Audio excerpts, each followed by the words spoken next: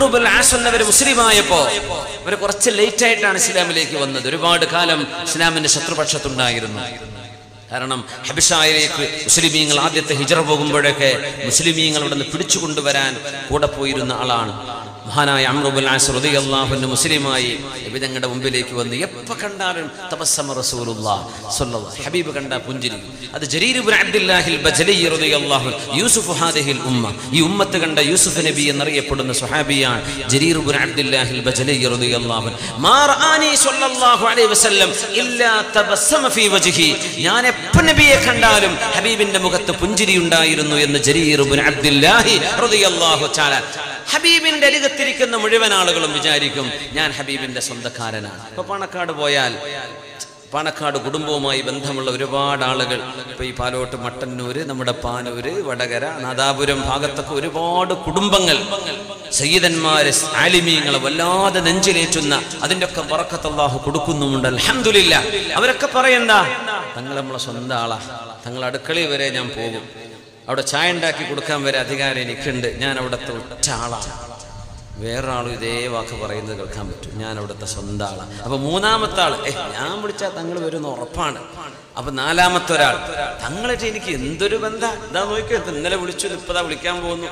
ഇങ്ങനെയൊക്കെ ബടായി പറയുന്നവരുണ്ട് അല്ലാത്തവരുണ്ട് അപ്പോ ആളുകൾക്ക് അതിൽ ആ ആ കുടുംബത്തിന്റെ ഒരു പെരുമാറ്റത്തിന്റെ അത്ഭുതമാണ്.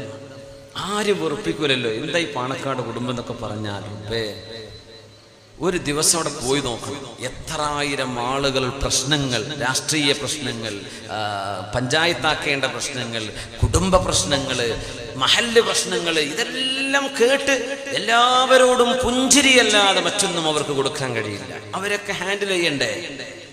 ഒരു ചൊവ്വാഴ്ച അവർക്ക് ഒഴിവുള്ളത്.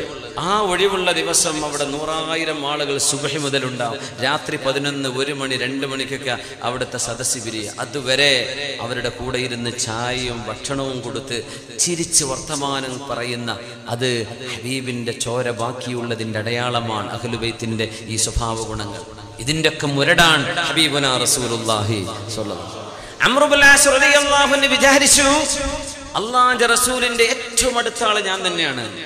ആ പെരുമാറ്റമാണ് നബി ഞങ്ങൾ പെരുമാറ. അപ്പൊ ഒരു തക്കം കിട്ടിയപ്പോ ചോദിച്ചു നബിയെ മൻ ആർക്കാ നബിയെ? ആരോടാ നബിയെ നിങ്ങൾക്ക് വലിയ ഇഷ്ടം? നിങ്ങൾക്ക് വളരെ പിരിശപ്പെട്ട ആൾ ആരാ? നബി ഞങ്ങൾ പറഞ്ഞു ആയിഷ ആയിഷയാണ്. അതെന്തെന്നറിയോ? പെണ്ണുങ്ങൾക്ക് ഒരു സ്ഥാനവും കൊടുക്കാത്ത ഒരു സമൂഹത്തിലാണ് നബി ഞങ്ങൾ ഈ പറയുന്നത്. പെണ്ണുങ്ങൾക്ക് അനന്തരാവകാശമില്ലാതിരുന്ന ഒരു സമൂഹത്തിൽ.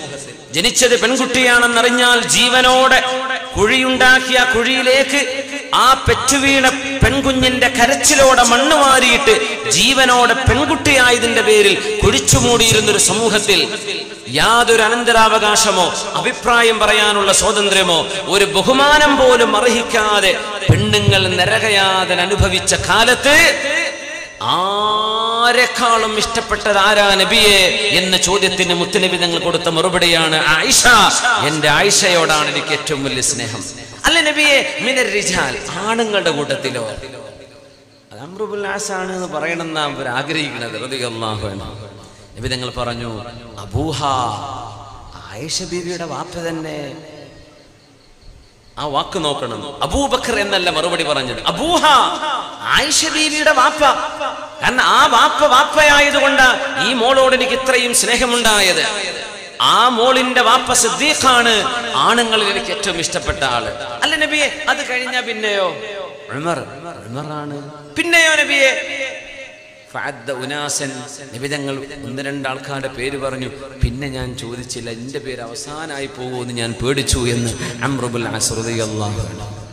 ഹബീബിന്റെ പെരുമാറ്റം അതാണ് ആർക്കും തോന്നും ഞാൻ ആ നബിയുടെ ഏറ്റവും അടുത്ത ആള് സ്വല്ലല്ലാഹു അലൈഹി വസല്ലം ولو كنت فظا غليظ القلب لم فضوا من حولك നബിയേ അങ്ങ് കഠിന ഹൃദയമുള്ള ആളായിരുന്നുവെങ്കിൽ ജനങ്ങളെല്ലാം അങ്ങയിൽ നിന്ന് ഓടി അകലുമായിരുന്നു. അങ്ങയുടെ കൂടെ ആളുകൾ ഒരുമിച്ച് കൂടുന്നത് അങ്ങയെ സ്നേഹിക്കുന്നത് അങ്ങയുടെ ദീനിലേക്ക് ആളുകൾ വരുന്നത് അങ്ങയുടെ മഹിതമായ സ്വഭാവ ഗുണം കൊണ്ടാണ്. അതിന്റെ അർത്ഥം എന്താണ് ഈ ഹബീബിൽ നിങ്ങൾക്ക് മാതൃകയുണ്ട്. നമ്മളും ഹബീബിന്റെ സ്വഭാവം കണ്ടു പഠിക്കണം. ഇന്ന